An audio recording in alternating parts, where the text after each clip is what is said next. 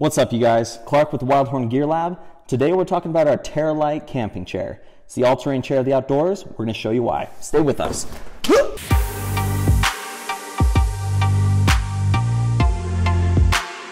Today we're talking about our Terralite chair. We call it the all-terrain chair of the outdoors. So the first thing that we want to do is we want to go through some specs with you. This is made from a high quality aircraft grade aluminum.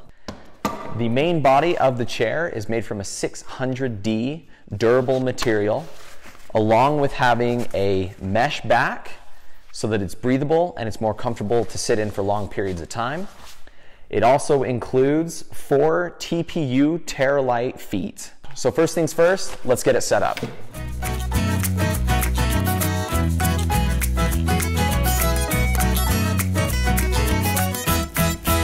Cool. So as you guys can see, super easy setup, really simple and really straightforward. Voice crack. This chair has a lot of uses, from the campfire to the beach, to soccer games, to festivals. It's small, lightweight, and compact, so you can take it anywhere with you. What we're gonna talk about now is we're gonna talk about the Terralite grip feet. That's these four feet right here that come included with the chair. So whenever you run into a situation where you need a little more stability, go ahead and take your chair, remove the smaller feet, and put on your Terra grip feet. The reason that these were designed were to keep you from post holing through mud, sand, dirt, gravel, gummy bears, top ramen.